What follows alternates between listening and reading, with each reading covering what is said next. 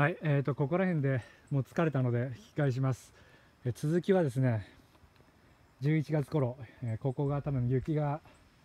降るちょっと前ぐらいにですね、来て、今度は本当にダムまで目指したいと思います。今大体ここの標高は大体500メートルぐらいなんですけれども、えーまだ9月の20今日何日22日秋分の日なんですがまだまだ歩くととても暑いです。あと1ヶ月半ぐらい経ったら、えーダムを目指してですねここに再び来たいと思いますのでそれまで、えーいろいろと装備とか準備しておきたいと思います。それじゃあ。